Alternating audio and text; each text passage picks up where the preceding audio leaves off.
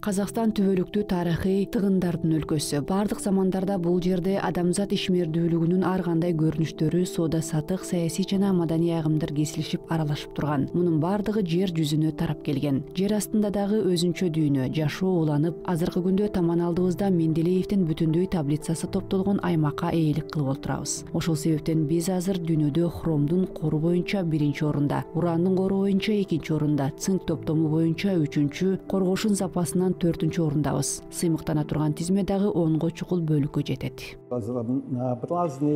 ар түрдүү геологиялык кырдаалдар болду ошол себептен бизде азыр кеңири спектрди камтыйт именно такой широкий спектр потому что мы имеем бизде геологиялык курамы жашы жана калыптанган шарты боюнча тээ байыркы мезгилге барып такалган гендер менен жаш гендерге чейин бар. и по составу и по возрасту геологическому и по условиям образования. И до самых молодых.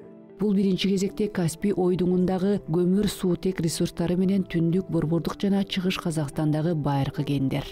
И э, ну, параллельно э, более древние структуры северного центрального и восточного казахстана.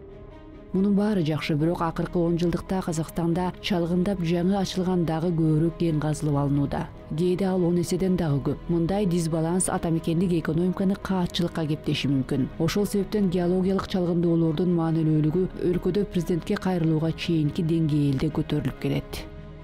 Для того чтобы компенсировать вот такой дисбаланс бул дисбалансты жоюу үчүн өкмөттүк деңгээлден атайын программаны кабыл алуудан тартып каржылоонун көлөмүн олуттуу түрдө көбөйтүүгө чейин өтө көп туура кадамдарды жасоо кажет. Принятие программы специальной и э, конечно до значительного увеличения э, объемов финансирования анан албетте кен жатактары мамлекет тарабынан изилденип кен иштетүүчүлөрдү чалгындоого каражат салуу багытында шыктандыруу зарыл.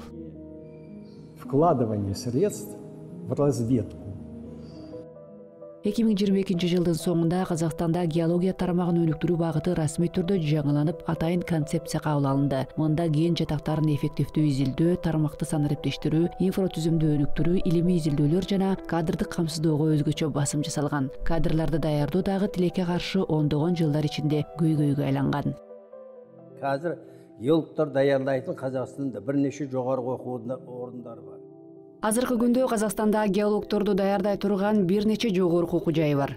Э, бир маселе оларды теориялык. Алардын окутуу деңгээли ар түрдүү бирок студенттерди теориялык билим менен камсыздоо башка ал эми тажрыйба деген башка кеп. Практика жаатында көйгөйлөр бар. Проблема өтө үлкөн себеби э, биринчиден азыркы э, стандарт боюнча практика өтөтүн студенттердин акыркы талаптар боюнча практиканын мөөнөтү өтө кыска. Студент баары менен таанышып түшүнө баштаганча эле практикасы бүтүп калат. Студент барып таанышканча кери кайтууга туура келет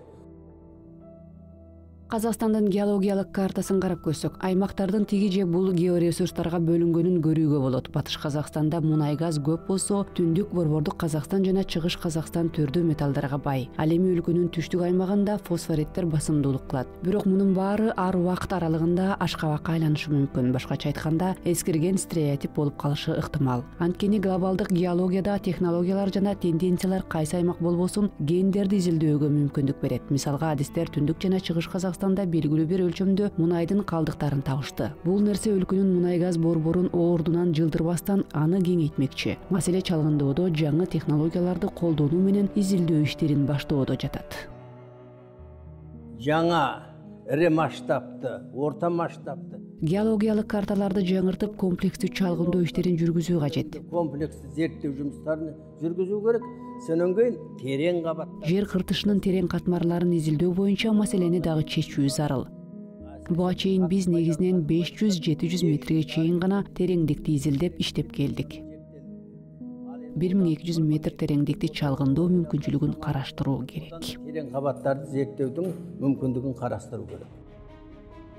Заман өзгөрүүдө көмүр суутек газы сейрек кездешүүчү металлдар менен катар эле маанилүүлүгүн жоготкон жок. Аны бейресмий түрдө жаңы мунай деп атап коюшкан. Казакстанда дагы буга басым жасоо пландалууда. Бул тууралуу президенттин кайрылуусунда айтылды. Тармактуу өнүктүрүүгө алдыңкы үч төрт жыл мерчемделди